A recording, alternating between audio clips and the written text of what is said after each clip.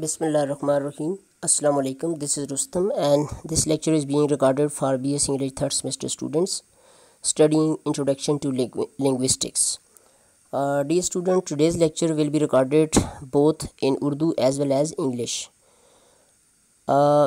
आज जो हमारा टॉपिक होगा, वो है school of linguistics school of linguistics schools of linguistics के बारे में बात करने से पहले मैं जल्दी से ये बताना चाहूँगा कि लिंग्विस्टिक्स जो होती है that is study of language okay study of language और लैंग्वेज के बारे में जो हम डेफिनेशन करते हैं, वो ये होती है कि it is a communication system and it is a pattern system of arbitrary vocal sound signals okay और ये जो बात है, ये आहिस्ता आहिस्ता आपको समझ आएगी कि ऑबिटरी क्या है वोकल क्या है और साउंड्स इसमें जो बाद में स्ट्रेस करना चाहूँगा वो है साउंड सिस्टम कि language is a system of sounds okay it is a system of sounds or we can say symbolic science अच्छा तो साउंड्स से मिल के लैंग्वेज बनती है और ये साउंड्स जो होती हैं, इन साउंड्स की मदद से हम फिर वर्ड्स बनाते हैं वर्ड्स से सेंटेंसेस और फिर मीनिंग कन्वे होते हैं।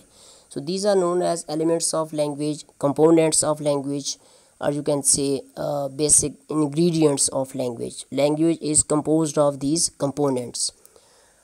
अब जब साउंड्स की बात करते हैं तो बेसिकली लैंग्वेज जो है साउंड है ये एक आप एक सेंटेंस देखिए कि लेट से this is this is this is his car this is his car. अब ये देखिए it is a sentence this is his car this is his car it is a sentence this sentence has got four words okay one two three four तो देखा जाए तो sentence की मदद से हमने मीनिंग अदा किया ओके okay? मीनिंग क्या हुआ कि this is not my car this is his car तो ये इसका मीनिंग है, ये मैसेज है। अब इस सेंटेंस के अंदर वर्ड्स हैं और ये वर्ड्स आपके सामने लिखे हुए हैं, लेकिन जब इन वर्ड्स को हम देखते हैं तो एक्चुअली ये साउंड्स हैं। कैसे पता चलेगा ये साउंड्स हैं? अब ये देखिए।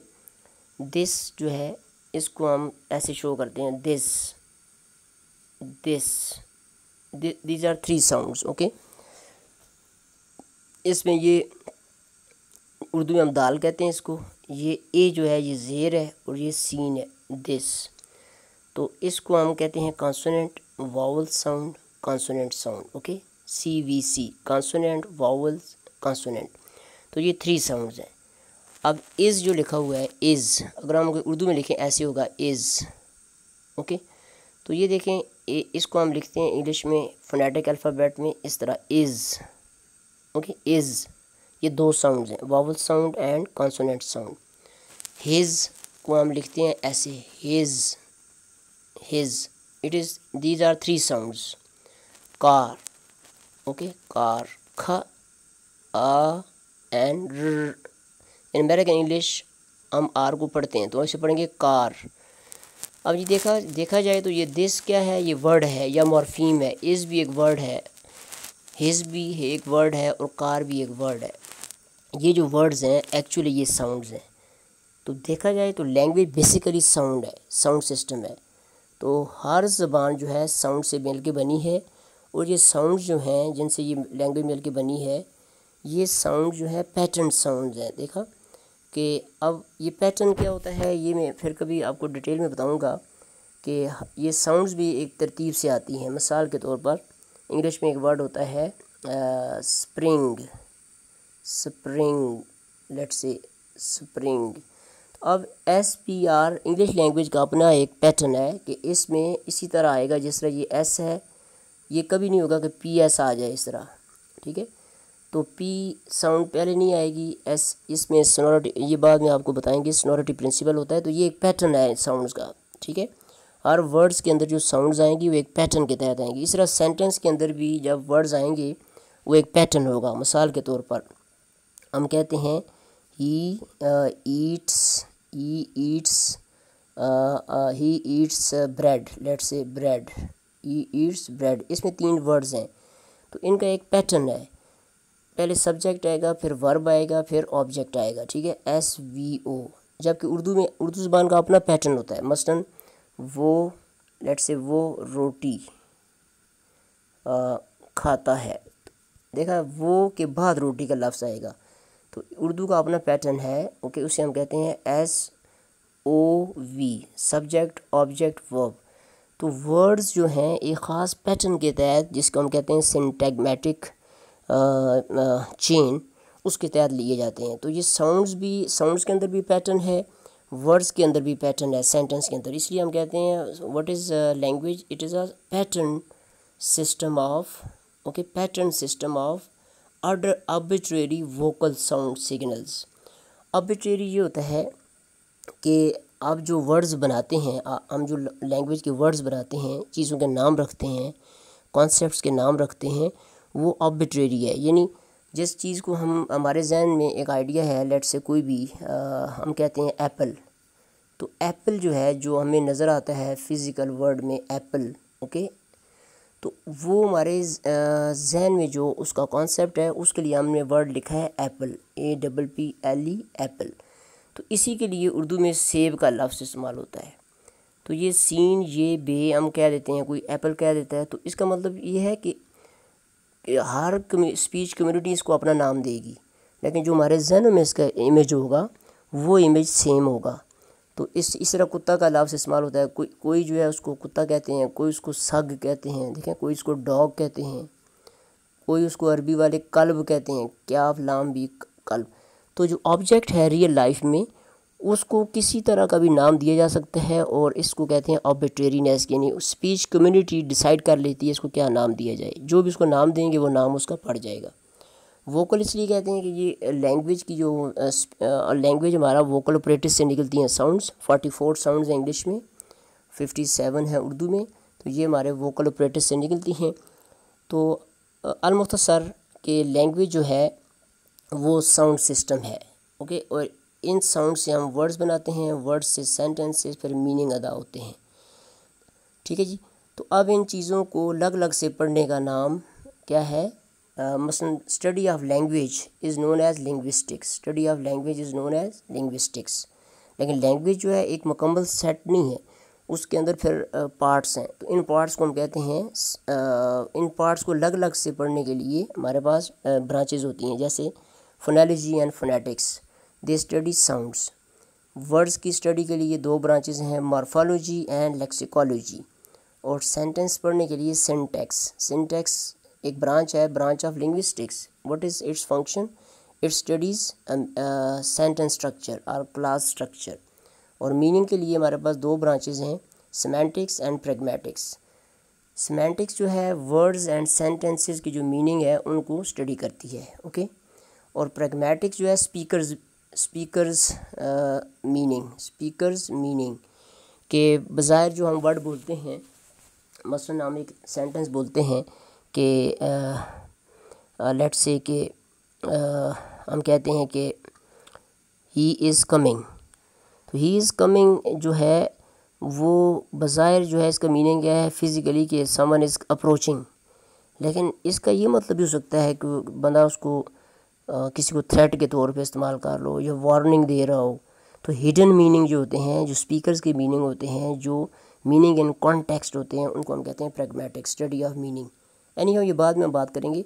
आज का जो हमारा टॉपिक है, वो है schools of linguistics schools of linguistics और मैंने इसलिए ये थोड़ी सी तमीद बांधी है कि लिंग्विस्टिक्स क्या चीज़ है? स्टडी ऑफ़ लैंग्वेज ओके और फिर लैंग्वेज क्या चीज़ है?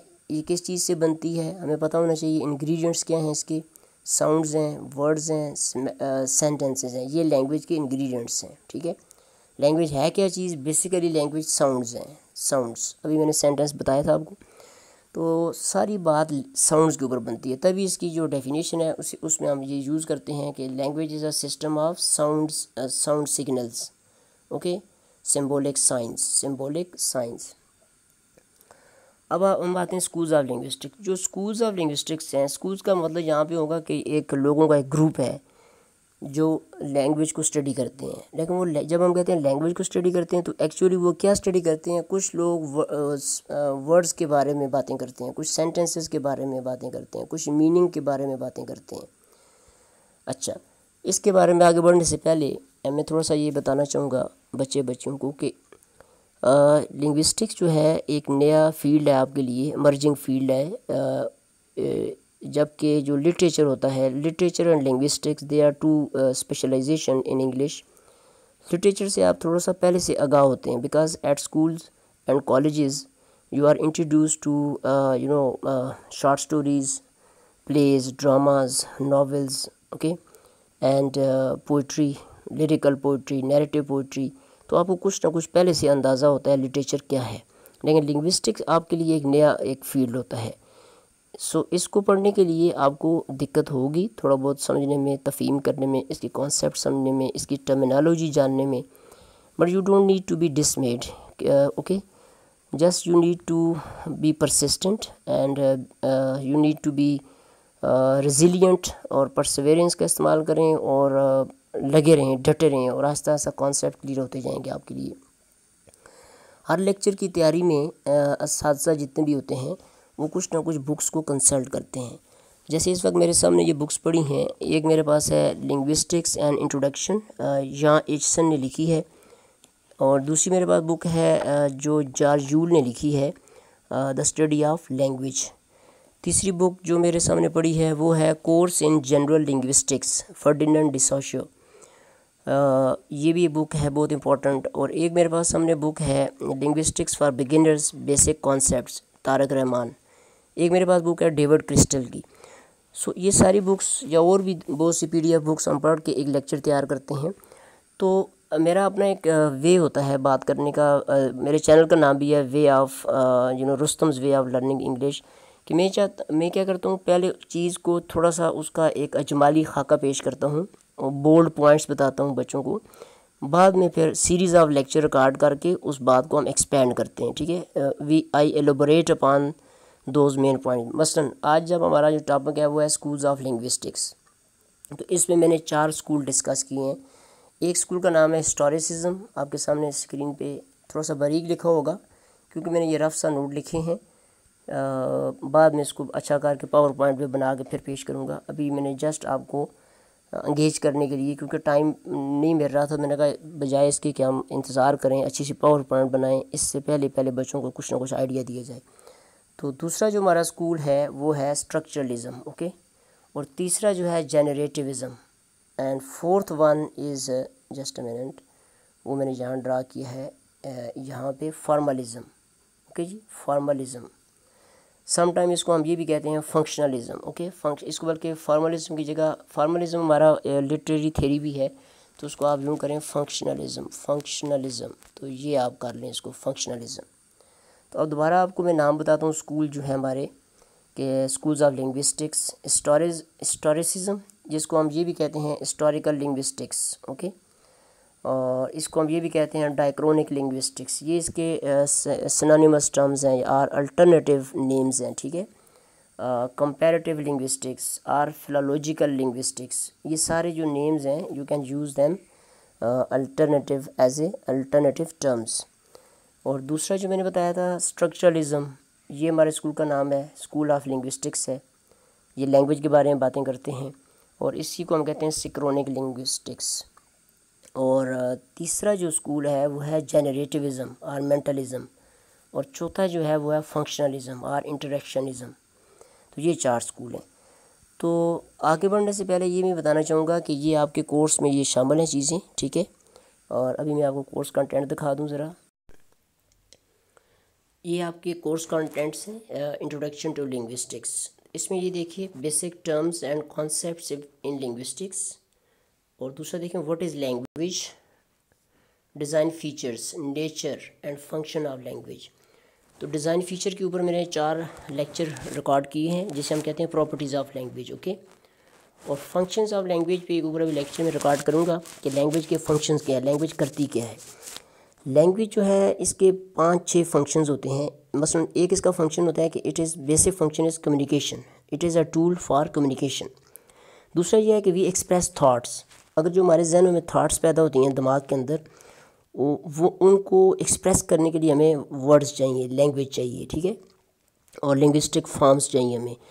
तो अगर लैंग्वेज ना होती तो हमारे अंदर जो थाट्स पैदा होती हैं, वो उधर रह जाती हैं। Language is a dress of thoughts दूसरा ये होता है जो हमारे आपके जो इमोशंस होते हैं फीलिंग्स होते हैं, उनको एक्सप्रेस करने के लिए आपको लैंग्वेज चाहिए। फिर आप डायरेक्ट करते हैं लोगों को लोगों को बताते हैं सेट डाउन कम बैक गाड़ी अगर आप चला रहे हैं तो लेट से आप कहते हैं कि okay stop the car reverse it इस तरह। You direct people with the help of language फिर स्पीच एक्ट जो होते हैं वो अदा करते हैं। जैसे जैसे निकाह सेरेमनी होती है तो प्रीस्ट या मौलवी साहब कहते हैं कि okay I declare you husband and wife और uh, यह हमारे यहाँ जो होता है तो ए, एक लैंग्वेज की मदद से आप एक सोशल एक्टिविटी करा देते हैं। और फैटिक uh, जो एक हमारा होता है लैंग्वेज का फ़ंक्शन होता है कि हम वैसे एक दूसरे को मिलते हैं लैक करते हैं दुआ सलाम करते हैं तो उसके लिए भी सोशल सोशलाइजिंग इसे हम कहते हैं टू सोशलाइज विद अदर्स तो ये हमारे जो हैं सारे फ़ंक्शंस हैं। इनके ऊपर कभी हम डिटेल से बात करेंगे। तो अब दूसरी जो इम्पोर्टेंट बात है, वो ये लिखा हुआ है, आपका कोर्स कंटेंट है व्हाट इज़ लिंग्विस्टिक्स अभी जो मैंने बात की थी थोड़ी देर पहले, कि linguistics is study of language और इसमें आगे जो लिखा हुआ है डाइक्रोनिक एंड सिंक्रोनिक इसके अभी अभी बात करेंगे। पैराडिगमेटिक एंड सिंटेगमेटिक रिलेशन ये भी हम बात करेंगे। आज जो मैंने टॉपिक उठाया वो है कि स्कूल्स ऑफ़ लिंग्विस्टिक्स ये देखें, जिसके ऊपर हम लेक्चर दे रहे हैं आज।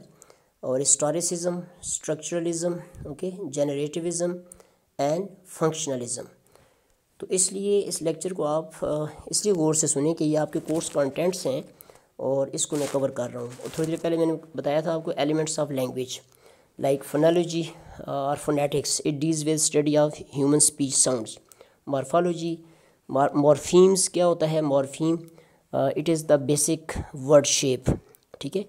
जो वर्ड्स होते हैं, उनकी बेसिक फॉर्म होती है। जैसे हम कहते हैं let's say care less care less ये एक वर्ड है, ठीक है?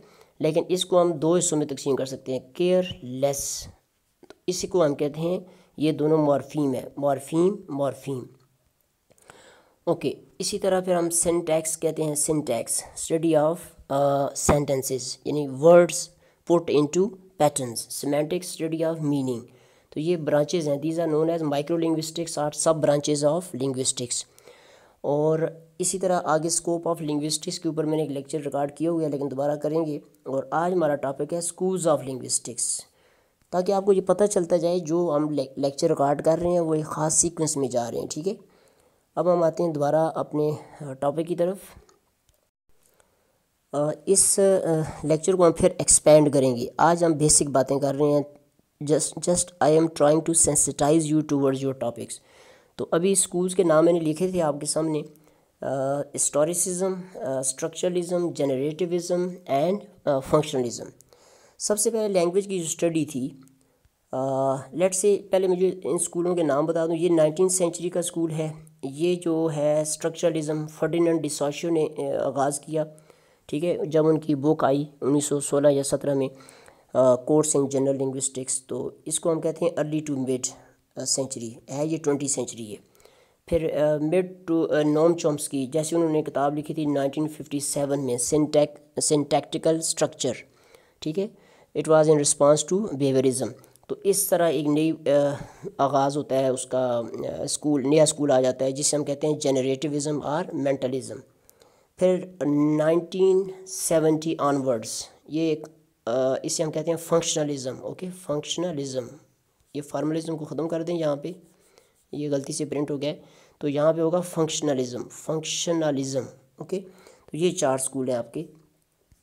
अब जो लैंग्वेज के बारे में स्टडी थी, वो पहले से चल रही थी, जो फ़िलासफ़र थे ख़ास तौर पे प्लेटो एंड एरिस्टोटल तो प्लेटो एंड एरिस्टोटल से पहले पनीनी की बात करते हैं, जो कि संस्कृत जो थी, ये तकरीबन ईसा इस्लाम से तकरीबन पाँच सौ साल कबल या सात सौ साल कबल एग्जैक्ट डेट नहीं है मुझे याद। तो ये ईसा इस्लाम से पहले गुजरे हैं और इन्होंने तकरीबन जो वर्सेस छोड़ी हैं, जैसे शायरी कहते हैं इस तरह की फ़ोर थाउज़ेंड के करीब इन्होंने सूत्राज लिखे हैं। और जो इसमें एक जो आठवां, आठवीं बुक है उनकी वो ग्रामर के ऊपर है संस्कृत की जो ग्रामर थी ठीक है? पर्टिकुलरली इन्होंने फोनेटिक्स के ऊपर काम किया कि साउंड्स कैसे पैदा होती हैं। देखा जाए तो ये साउंड्स के बारे में इन्होंने बात की। दूसरे नंबर पे प्लेटो का नाम आता है। प्लेटो ने भी एक किताब लिखी थी क्रेटलस क्रेटलस के अंदर आ, दो करेक्टर शो किए जाते हैं। इट इज़ अ डायलॉग एक हारमोजीन्स हैं। जिन, जो कहते हैं कि जो वर्ड वो वर्ड्स के ऊपर बात कर रहे हैं मीनिंग के ऊपर, ठीक है? प्लेटो मीनिंग के ऊपर बात करता है सीमेंटिक्स के ऊपर। जैसे कि मैंने थोड़ी देर पहले बताया था कि ये जो चार इसके एलिमेंट हैं साउंड्स वर्ड्स सेंटेंसेस मीनिंग इस इन्हीं के ऊपर बात करेंगे लोग ना। तो प्लेटो जो क्या कहता है प्लेटो के अंदर जो क्रेटलस एक करेक्टर है और एक इसका है हारमोजीन्स हारमोजीन्स जो है जो है, वो बात करता है कि वर्ड्स जो होते हैं, वो कन्वेंशनलिस्ट व्यू करता है, यानी आर्बिट्रेरीनेस का इजहार करता है। वो कहता है कि लेट्स से अगर आप कहते हैं कुत्ता या आप कहते हैं डॉग ठीक है? तो वो कहते हैं, अगर इस तरह की चीज़ जो आपके सामने पड़ी है इस तरह की, ठीक है? डॉग इस तरह खड़ा है आपके सामने इस तरह तो वो एक्चुअली इसका जो आइडिया आपके जहन में है, उसके लिए जो भी लफ्स आप ले आए हैं, यानी ये ज़रूरी नहीं है कि ये कुत्ता और ये डॉग जो आपको नज़र आए, इसके अंदर कोई लिंक है। There is no intrinsic link और मीनिंग तो जो नाम आप इसे दे देंगे, वो हो जाएगा। इसे कहते हैं कन्वेंशनलेस व्यू कन्वेंशनलेस व्यू इसके ऊपर हम आराम से बात करेंगे आर्बिट्रेरीनेस क्या होती है। और दूसरा जो व्यू है, वो नेचुरलिस्टिक व्यू है, जो क्रेटिलस ने क्रेटिलस की तरफ़ से आता है। और वो कहता है, नहीं, जो वर्ड्स हैं और वो जो दुनिया में चीज़ें दिखती रही हैं या जहनों के अंदर जो आइडियाज़ हैं, उनके बीच में एक लिंक है। आप जब लफ्ज़ बोलते हैं कोई तो वो ऑलरेडी उसका ऑब्जेक्ट जो दुनिया में है, कुत्ता है, पत्थर है टेबल है मेज़ है तो अब मेज़ को आप मेज़ कहते हैं तो मेज़ और जो लकड़ी की चीज़ है और जो आप लफ्ज़ ले के आ रहे हैं लिंग्विस्टिक फॉर्म ले ले के आ रहे हैं, जैसे हम कहते हैं मेज़ वो कहते हैं मेज़ और जो एक्चुअल मेज़ है, रखी हुई है टेबल है, इसके दरमियान में लिंक है इंट्रेंसिक हम नाम ऐसे नहीं रख लेते हैं, इसके पीछे कोई वजह है। तो ये क्रेटिलस का व्यू है, जिसे हम कहते हैं नेचुरलिस्टिक और इसेंशलिस्ट व्यू तो ये इसका मतलब है कि लैंग्वेज के ऊपर पहले से बातें चल रही हैं, ठीक है? और एंटिक्विटी में, जो फ़िलासफ़र्स की तरफ़ से, लेकिन ये इस तरह लिंग्विस्टिक्स का आगाज़ हो गया है। हम कहते हैं लिंग्विस्टिक्स का आगाज़ हो गया है। क्यों कहते हैं? कि study of language is known as linguistics तो ये जो प्लेटो है, वो मीनिंग की बात कर रहा है। तो मीनिंग भी लैंग्वेज का ऐसा है। और यहाँ पे पनीनी जो है साउंड्स के ऊपर बात कर रहा है फोनेटिक्स के ऊपर तो वो भी इस लिंग्विस्टिक्स का हिस्सा है। इसका मतलब है स्टडी ऑफ़ लैंग्वेज जो है वो पहले से स्टार्ट हो चुकी थी। आ, आज के लेक्चर में हम पढ़ रहे हैं स्कूल्स ऑफ़ लिंग्विस्टिक्स और हिस्ट्री ऑफ़ लिंग्विस्टिक्स ओके ये मैंने टॉप पे लिखा भी है just a minute let me show you कि हिस्ट्री ऑफ़ लिंग्विस्टिक्स ओके ये देखें टॉप पे लिखा हुआ है यहाँ पे हिस्ट्री ऑफ़ लिंग्विस्टिक्स ओके अब हम आते हैं कि एक्चुअल लिंग्विस्टिक्स कब स्टार्ट होती है। एक्चुअल जो लिंग्विस्टिक्स है, वो स्टार्ट होती है सर विलियम जोन्स ओके ये उनकी डेट ऑफ़ बर्थ भी लिखी है और डेट ऑफ़ डेथ भी लिखी है कि ये जो है बंगाल में, कलकत्ता में जज थे और संस्कृत के ऊपर जो है इन्होंने काम किया है। तो इन्होंने अपना एक पेपर पढ़ा और उसमें लिखा कि संस्कृत जो है उसमें और लैटिन और ग्रीक जो लैंग्वेजेस हैं, इनमें बहुत सी सिमिलरिटी पाई जाती है। और इस पेपर में उन्होंने बताया कि ये लगता है ऐसे है कि ये एक ही लैंग्वेज जो बड़ी लैंग्वेज होगी, जो एंसेस्ट्रल लैंग्वेज है, इनकी प्रोटो लैंग्वेज होगी, उसकी ये आगे शाखें हैं, यानी पीछे लैंग्वेज एक ही रही होगी बोलने उसके बाद ये जैसे जैसे लोग स्पीच कम्युनिटी दूर हटती गई तो नई लैंग्वेजेस पैदा होगी। तो देखा, यहाँ से उन्होंने आगाज़ होता है कि उन्होंने तीन लैंग्वेजेस की बात की, कि बल्कि जर्मेनिक लैंग्वेज की भी बात की, कि Latin Greek Germanic languages and English and sorry and Sanskrit they have got much similarity तो इससे एक नया सिलसिला स्टार्ट हुआ लोगों का, ज़ुबान के अंदर दिलचस्पी पैदा होगी, ठीक है? तो वैसे ये लोग जो थे ज़्यादातर फ़िलालोजी फ़िलालोजी कहते हैं लव ऑफ़ वर्ड्स के इस तरह वो वर्ड्स जिसे हम कोगनेट्स भी कहते हैं, एक लैंग्वेज के, जैसे उर्दू का लफ्ज़ है फादर इंग्लिश का लफ्ज़ है फादर ठीक है? और इसी तरह दूसरा जो है, जैसे पंजाबी में कहते हैं प्यो, ठीक है? और दूसरी लैंग्वेज में जैसे पिता इस तरह के वर्ड्स हैं जो पे से स्टार्ट होते हैं। तो इस तरह के वर्ड्स उठा के उन्होंने ये एक आगाज़ किया कि लैंग्वेज के अंदर सिमिलैरिटी है। तो इस तरह की जो लैंग्वेज की स्टडी थी, इसको हम कहते हैं historicism okay historicism or diachronic linguistics और इस, इसका जो मेन था, उनका यही था कि वो करते थे कि फैमिलीज़ लैंग्वेज की फैमिलीज़ उन्होंने ड्राइव की कि जैसे थर्टी लैंग्वेज की फैमिली बनाई गई, ठीक है? और जिसके अंदर मोर देन फोर थाउज़ेंड जो लैंग्वेजेस हैं वो शामिल की गई, ठीक है? थर्टी जैसे एक लैंग्वेज की फैमिली है Indo European language family Indo European language family तो इसका, इस फैमिली के अंदर जो इनकी माँ होगी, यानी एक्चुअल लैंग्वेज होगी, जिससे ये सारी ज़बानें बनी हैं तो उसको नाम दिएगा proto Indo. Proto Indo language proto, यानी एक्चुअल जो लैंग्वेज थी।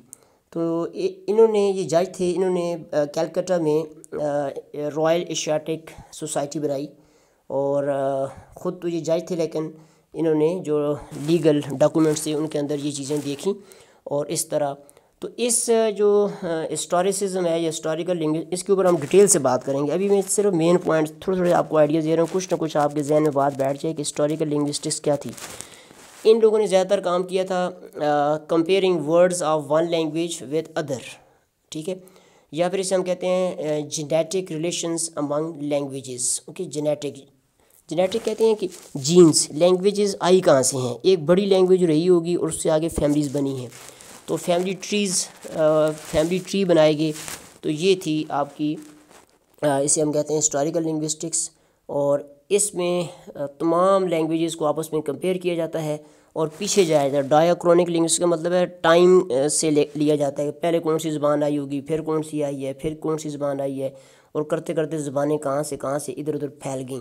तो इसे कहते हैं study of all the language through ages through times okay अब इसके फ़ौर बाद दूसरा जो स्कूल आता है, उसे हम कहते हैं स्ट्रक्चरलिज्म ओके सिंक्रोनिक तो इसके जो बानी हैं, वो हैं फर्डिनेंड डिसोशियो स्विस तो 1900 इनके मरने के बाद इनके जो शागिर्द थे, उन्होंने इनके जो क्लास लेक्चर थे, और ये कोर्स ये लिंग्विस्टिक्स का कोर्स पढ़ाते थे तो उन्होंने वो लेक्चर्स इकट्ठे करके इनके वफ़ात के बाद 1916 में वो एक किताब शाये की, जो फ्रेंच में थी जिसका नाम था इंग्लिश में उसका टाइटल है general a course in general linguistics तो इन्होंने कहा जी कि बजाय हम ये देखने के, कि लैंग्वेज कैसे डेवलप हुई, माजी में क्या था फैमिलीज़ वगैरह या बहस जो हम करते हैं तो उसकी बजाय हम सिंक्रोनिक स्टडी करते हैं, कि एक ही लैंग्वेज को एक ख़ास टाइम में लेते हैं और उसको स्टडी करते हैं। बजाय हम पीछे जाने के लैंग्वेज का जो स्ट्रक्चर है लैंग्वेज एक सिस्टम है, ये एक स्ट्रक्चर है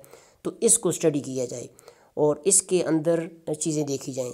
तो इसको, इसके बारे में हम डिटेल से बात करेंगे और इसके बारे में ये लिखा है मैंने कि single language at one particular point in time ठीक है?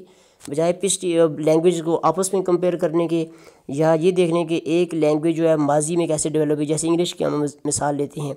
ओल्ड इंग्लिश पीरियड है, फिर मिडल इंग्लिश पीरियड है, फिर English during the Elizabethan age है करते करते आज मॉडर्न इंग्लिश बर्नड शाह और ट्वेंटी फ़र्स्ट सेंचुरी में पहुँच आए वो डॉक्टर सॉरी फर्डिनेंड डिसोशो ने कहा कि इस तरह की स्टडीज़ करने की बजाय आप लैंग्वेज को किसी एक टाइम के अंदर लें, जैसे चौसरियन इंग्लिश अब चौसरियन इंग्लिश लेकर एक सिंक्रोनिक कहते हैं, एक ज़माने को, एक टाइम को तो उसके अंदर देखें क्या क्या चेंजेस आती हैं। यानी आप उसके अंदर साउंड्स को पढ़ें, उसके अंदर फोनोलॉजी पढ़ें वर्ड्स को पढ़ें, इस तरह। खैर, ये बहुत बड़ी एक बहस है, इसके ऊपर हम बात करेंगे। इन्होंने ये भी कहा कि language is a system of science okay science और ये जो साइंस हैं, ये वर्ड्स के अंदर भी हैं। सारी जैसे हम कहते हैं कैट तो वो कहते हैं कि यहाँ भी एक पैटर्न है, यहाँ भी एक सिस्टम है, फिर वर्ड्स के अंदर भी सिस्टम है। इनकी जो टर्म्स हैं, मैं आगे जाके बताऊँगा एक और लेक्चर में। इन्होंने इस तरह की बातें की सिंक्रोनी और डायक्रोनी इन्होंने ये बातें की कि जैसे syntagmatic relation between words okay syntagmatic का मतलब है ऐसे जो वर्ड्स आएँगे आपके, जैसे हम कहते हैं he eats he eats a mango let say तो ये जो रिलेशनशिप है, इस तरह हॉरिजेंटल इसे कहते हैं सिंटैम सिंटेगमेटिक और वर्टिकल जो होता है, जिसे हम कहते हैं पैराडिगमेटिक रिलेशन है, फिर लैंग एंड पेरोल का कॉन्सेप्ट दिया उन्होंने लैंग का मतलब ये होता है कि ड लैंग के जो लैंग्वेज आपके अंदर है जहन में है पेरोल का मतलब जो आप बोलते हैं, ठीक है? जैसे चॉम्सकी ने कहा था कॉम्पिटेंस एंड परफॉर्मेंस ये छोटी छोटी कॉन्सेप्ट हैं, ये आगे जाके इंशाल्लाह हम डिस्कस करेंगे। फिर इन्होंने ये भी कहा कि अबिट्रेरीनेस क्या होती है, कि जो आपको दिखता है ऑब्जेक्ट वो और जो आप लिंग्विस्टिक फॉर्म लेके आते हैं, इसके अंदर कोई रिलेशनशिप नहीं है, ये अबिट्रेरीनेस है। असल चीज़ है इनकी एक बहुत बड़ा आइडिया है, इसके हम डिस्कस करेंगे बाद में। Signifier signified okay signified and significant significant तो वो कहते हैं असल चीज़ जो मेंटल कॉन्सेप्ट है जो आपके हर चीज़ का एक कॉन्सेप्ट होता है ठीक है आपके दिमाग में। इस कॉन्सेप्ट को करने के लिए जो आइडिया है जो सोच है आपके दिमाग में थिंकिंग है उसके लिए आप लैंग्वेज लेके आते हैं। मसलन आपके जहन में एक आ, सोच है आ, आपके जहन में एक आइडिया उभरता है कुत्ता। लेट से ये जहन में आता है आइडिया तो इसके लिए आप ज़बानों के अपने अपने लफ्ज़ हैं। कोई इसको कल्ब कहेगा, कोई इसको सग कहेगा, कोई इसको डॉग कहेगा, ठीक है? तो वो कहता है कि आइडिया जो आपके जहन में बना और वो और जो आप वर्ड्स लेके आ रहे हैं लिंग्विस्टिक फॉर्म्स लेके आ रहे हैं, इनका आपस में कोई रिलेशन नहीं है, कोई भी नाम दे सकते हैं इस आइडिया को। और इसी तरह उसकी रिप्रेजेंटेशन जो दुनिया में होती है, जो एक ऑब्जेक्ट आपको नज़र आता है तो वो उसका और इसका आपस में कोई तलक नहीं है। ये सारी बातें हम बाद में करेंगे। इस तरह की लिंग्विस्टिक को हम कहते हैं स्ट्रक्चरलिज्म कि लैंग्वेज जो है, एक उसका अपना एक स्ट्रक्चर है और इस स्ट्रक्चर को समझने के लिए वो लफ्ज़ जो है, उस ख़ास स्ट्रक्चर के अंदर है, और भी एलिमेंट्स हैं। तो ये नहीं है कि वो वर्ड जो है, एक आइसोलेशन में पड़ा हुआ है। तो अगर आपने एक वर्ड्स की मीनिंग जानने हैं तो उसका रिलेशनशिप देखना पड़ेगा, बाकी वर्ड्स के साथ वर्टिकल रिलेशन सिंटेक्टिकल रिलेशन और ये असल में एक तरह की तनकीद थी, पिछली जो लिंग्विस्टिक्स थी जो उन्नीसवीं सदी में चाह रही थी, सर विलियम जोन्स के बाद चली थी, जिसमें वर्ड्स के ऊपर बहसें होती थी फिलालॉजी के ऊपर बहसें होती थी वर्ड्स के मीनिंग लिए जाते थे। तो उसने कहा कि वर्ड्स की मीनिंग आप लेते हैं तो उस वर्ड्स को एक पूरे जहाँ में देखा जाएगा, उसके इर्द गिर्द की सराउंडिंग में देखा जाएगा। इसके ऊपर हम बात बात करेंगे। थोड़ा सा आपको आइडिया दिया है कि स्टोरिसिज्म के बाद स्ट्रक्चरल लिंग्विस्टिक्स आई तो उसका जो बानी कौन था, और फर्टिनन डिसोशियो इसी इनको कहा जाता है मॉडर्न लिंग्विस्टिक्स के बानी, ठीक है? फिर इसके बाद नॉम चॉम्स्की आगे नाइनटीन फिफ्टी सेवन जिन्होंने एक किताब लिखी सिंटैक्टिक स्ट्रक्चर ठीक है? ये किताब जो है, इसने एक और जहाँ पैदा किया और इन्होंने कहा जी कि हम जो लैंग्वेज देखते हैं सोसाइटी में, उसको ले के आप बातें कर रहे हैं स्पीच जो नज़र आती है परफॉर्मेंस लोगों की तो इस ये तो डेटा इसको देखना ये चाहिए कि ये डेटा पैसे पैदा कैसे हो रहा है प्रोड्यूस कैसे हो रहा है, ये जो आउटपुट है, जो हम बोलते हैं स्पीच है, जिसको देख के स्टडी की जा रही है, कभी फर्टिनन डिसोशियस पे स्टडी कर रहा है, इससे पहले जो है ट्रेडिशनल लैंग्वेज वाले बातें कर रहे थे वर्ड्स क्या हैं वर्ड्स का मीनिंग क्या है ऑब्जेक्ट के साथ, इसको छोड़ें। आप ये देखें, ये चीज़ें पैदा कैसे हो रही हैं, दिमाग के अंदर जाएँ, ठीक है? तो उन्होंने फिर अंदर जा के बातें की कि ये लैंग्वेजेस पैदा कैसे होती हैं और दुनिया सारी की जो लैंग्वेजेस हैं वो सेम हैं। उनके अंदर प्रिंसिपल सेम हैं, ठीक है? सिर्फ़ थोड़ी बहुत तब्दीलियाँ हैं जिन्हें हम कहते हैं पैरामेट्रिक वेरिएशन आर रूल्स उसकी एग्ज़ाम्पल मैं आपको उर्दू में जल्दी से देता हूँ। आप एग्ज़ाम्पल देखिए एक एग्ज़ाम्पल देते हैं let say on the table on the table ठीक है? ऑन द टेबल ठहरें, इसको जहाँ लिखते हैं ऑन द टेबल ओके? अच्छा अब उर्दू में से कहते हैं मेज़ पर मेज़ पर। और हिंदी में कहते हैं मेज़ उत्ते मेज़ उत्ते तो चॉम्स्की ने ये कहा, नॉम चॉम्स्की ने, कि ये प्रपोजिशनल फ्रेजेज़ हैं, तीन तीन लैंग्वेजेस की। एक इंग्लिश है, एक उर्दू है, एक हिंद को है। उन्होंने कहा, इसमें जो हेड होता है हर फ्रेज़ में, वो प्रपोजिशन होगी यहाँ पे यहाँ पे पर प्रपोजिशन होगी यहाँ पे उत्ते प्रपोजिशन होगी। उन्होंने कहा, ये जो अब हर ज़बान में क्या होगा? फ्रेजेज़ होंगी। ये प्रिंसिपल है। ठीक है? Every language must have five types of phrases okay her phrase के अंदर एक हेड होगा। ये भी एक बहुत बड़ा प्रिंसिपल है। लेकिन अब हेड किस जगह पे होगा? यहाँ पे लैंग्वेजेस के अंदर फ़र्क आएगा। इंग्लिश में ये हेड पहले आएगा और उर्दू में ये हेड बाद में आएगा और इंग्लिश में ये हेड हेड बाद में आएगा हिंदकों में। तो ये फ़र्क होगा। तो इस तरह उन्होंने कहा कि लैंग्वेजेस जो हैं जितनी भी लैंग्वेज दुनिया की हैं, उनके अंदर एक यूनिवर्सल्स होते हैं प्रिंसिपल्स होते हैं। फिर हर लैंग्वेज के अंदर जो है, उस उस प्रिंसिपल का थोड़ा थोड़ा डिफरेंट होगा। इस तरह उन्होंने बहुत से कॉन्सेप्ट दिए, बहुत बड़ी एक बहस है नॉम चॉम्स्की की, इसके ऊपर हम बात करेंगे बाद में। थोड़ा सा मैं आपको बता दूँ कि इन्होंने फ्रेज स्ट्रक्चर रूल की बात की फ्रेजेस फ्रेज स्ट्रक्चर रूल्स इसमें मिनिमलिज्म की बात हुई गवर्नमेंट एंड बाइनिंग थेरीज़ की बात होगी डीप एंड सरफेस स्ट्रक्चर की बात होगी। अच्छा जो आपके अंदर ग्रामर है, उसे हम कहते हैं यू जी यूनिवर्सल ग्रामर उसकी बात होगी, ठीक है? और यूनिवर्सल जो ग्रामर होती है, उसके फिर आपके रूल्स होते हैं। और इन्होंने बताया कि हर बंदे को जो है लैंग्वेज अता की गई है। उसके अंदर डी कर्नल क्लासेस होती हैं, उसके अंदर स्ट्रक्चर मौजूद होता है। और मिनिमल सेट ऑफ़ फ्रेजेस और classes has been given to us ठीक है? हर बंदे के अंदर एक मखसूस कर्नल क्लासेस हैं। उनको एक्सपेंड करके हम डीप स्ट्रक्चर से ऊपर लाते हैं और फिर सरफस स्ट्रक्चर पे हमारी लैंग्वेज बोली जाती है। इन्होंने कॉन्सेप्ट दिया कॉम्पिटेंस एंड परफॉर्मेंस का। और इस इनकी थेरीज़ की बहुत बड़ी इम्प्लीकेशन हैं। जैसे चा, अर्ली चाइल्ड में बच्चे लैंग्वेज सीखते हैं। तो बड़ा हैरान होता है कि दो साल सवा दो साल के बच्चे जो हैं फर फर वो अपनी लैंग्वेज बोलने लगते हैं। तो इसका मतलब ये हुआ कि लैंग्वेज पहले से मौजूद थी, उसका ऑपरेटिव सिस्टम यानी जिसे हम कहते हैं लैंग्वेज एक्विजिशन डिवाइस वो दिमाग के अंदर मौजूद था। जस्ट उसको एक कल्चरल ट्रांसमिशन के ज़रिए, यानी माहौल में बच्चे को रखा गया इनपुट दी गई और उसका लैड जो है उसके अंदर उसको ट्रिगर किया गया और एकदम बच्चा बोलने लग गया। तो होमोसैपियंस जो होते हैं लैंग्वेज उनको वदियत की गई है। वो ब्लैंक स्लेट नहीं पैदा होते हैं नॉम चॉम्स्की के मुताबिक। उनके अंदर वो पहले से जेनेटिकली प्रोग्राम्ड होते हैं लैंग्वेज मौजूद होती है, और उससे वो लैंग्वेज फिर पैदा होना शुरू जाती है, और प्रोडक्टिविटी और क्रिएटिविटी और ऐसे ऐसे जुमले बोलते हैं बच्चे जिन्होंने कभी नहीं सुने होते।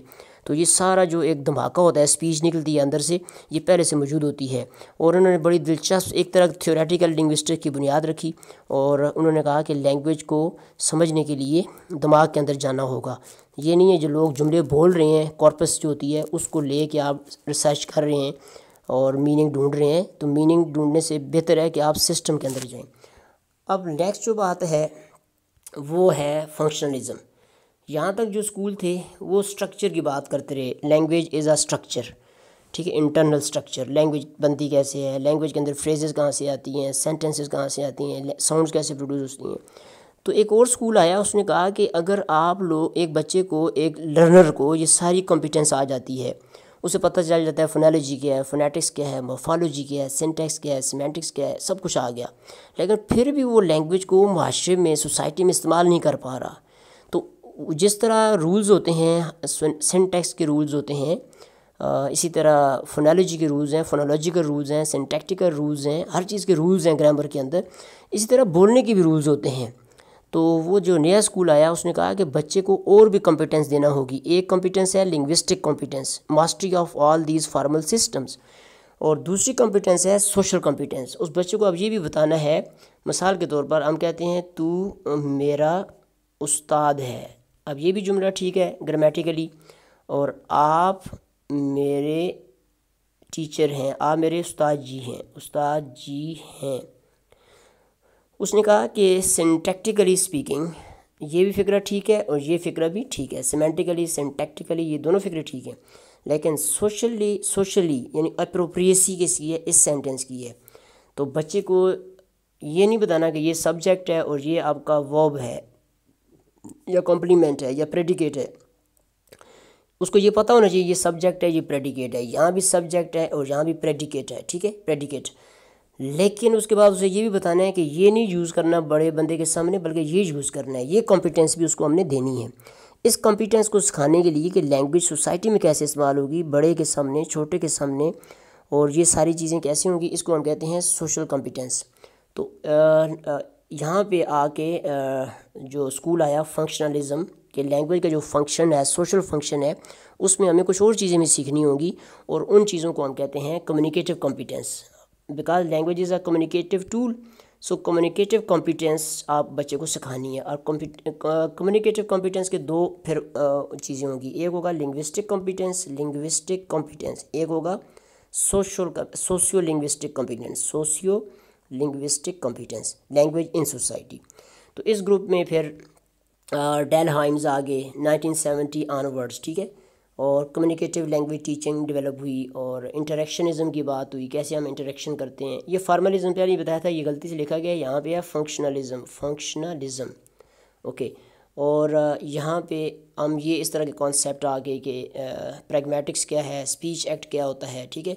कोऑपरेटिव प्रिंसिपल क्या होता है? जैसे पॉल ग्राइस ने कोऑपरेटिव प्रिंसिपल दिया कि बात पूरी करनी चाहिए। Maximum of quantity maximum of quality maximum of relevance maximum of एक और था उनका quality quantity relevance and maximum of manner इस तरह कोहेरेंस का कॉन्सेप्ट दिया गया कि बाज़ाहिर जो है, जुमला आप बोलेंगे, उसके अंदर वो कोहिजन नहीं होगी, यानी लेकिन उसके अंदर मीनिंग की यूनिटी होगी। मसलन, एक बंदा कहता है कि लेट्स से बेबी इज़ वीपिंग और आगे दूसरा कहता है I am writing the last sentences और दूसरा बंदा फिर आगे से कहता है ओके तो अब ये देखें, इसके अंदर ग्रामेटिकल कोई भी कोहिजन नहीं है, लेकिन इसके अंदर यूनिट या मीनिंग है कि एक बंदा दूसरे को पॉइंट आउट कर रहा है या हस्बैंड पॉइंट आउट कर रहा है कि बच्चा रो रहा है कि इसे उठाओ। और वो दूसरा बंदा जो बीवी है, वो कह रही है, मैं अभी लिख रही हूँ, मेरे आखिरी दो तीन जुमले रह रहे हैं, रह गए हैं ना, कि मैं नहीं उठाऊँगी बच्चे को, इसे रोने दो या तुम खुद उठा लो। और वो कहता है, ओके। तो इसका मतलब उसने समझ गया बात को। तो ये जो बात समझना है, जबकि जुमले आपस में उनमें कोई रब्त नहीं है, लेकिन यहाँ पे जो ग्रामेटिकल रब्त नहीं है, जिसे हम कहते हैं कोहिजन नहीं है, लेकिन इसके अंदर जो है फिर भी मीनिंग की यूनिटी पाई जाती है, जिसे हम कहते हैं कोहेरेंस ठीक है डेक्सेस कोहेरेंस ये जो जितनी चीज़ें हैं, इनको इनको पढ़ाना ज़रूरी है, और ये पढ़ाई जाती हैं किसमें?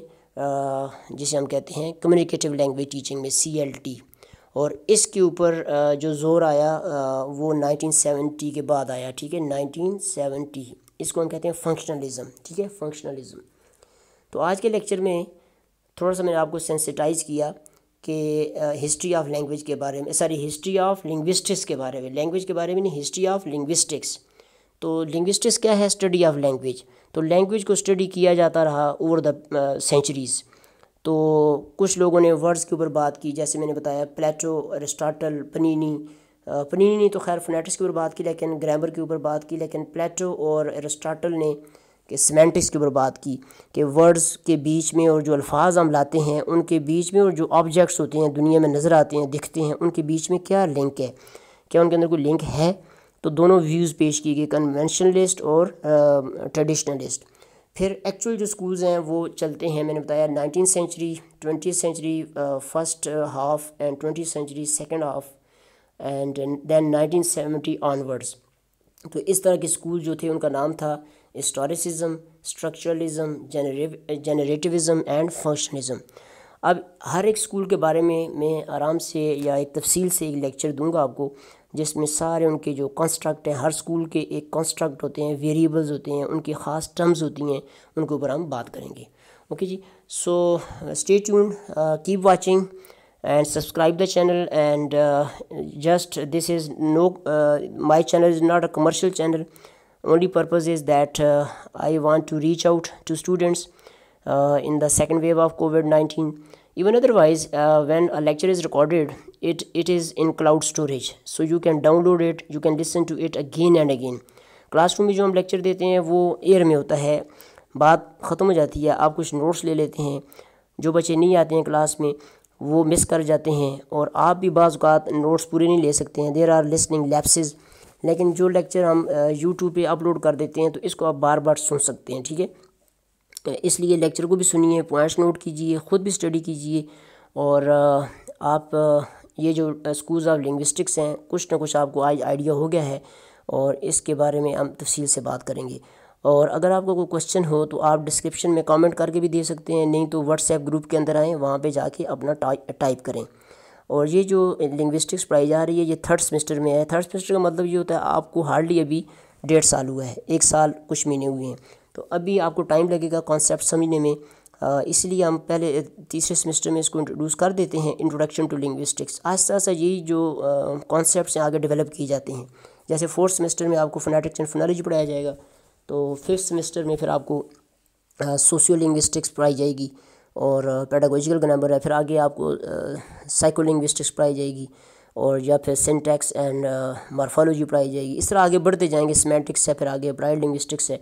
तो whatever is being laid down foundation foundation is being laid down in third semester that will be expanded in the upper classes लेकिन ये है कि इनिशली आपको कॉन्सेप्ट बात समझ नहीं भी आएँगे, लेकिन कुछ ना कुछ आप इनको किताबों के ज़रिए देखें यूट्यूब पे जाएँ और टाइप करें, यही वर्ड टाइप करें व्हाट इज़ जनरेटिविज़म मतलब आपको मैं गाइड करता हूँ आप कहते हैं what is structuralism or what is synchronic linguistics synchrony तो आप जाकर टाइप करें यूट्यूब के अंदर व्हाट इज़ सिंक्रोनिक लिंग्विस्टिक्स और व्हाट इज़ सिंक्रोनिक वहाँ से फिर लेक्चर सुने पाँच पाँच मिनट के दस दस मिनट के और भी लोग हैं यूट्यूबर हैं, वो लेक्चर बना रहे हैं।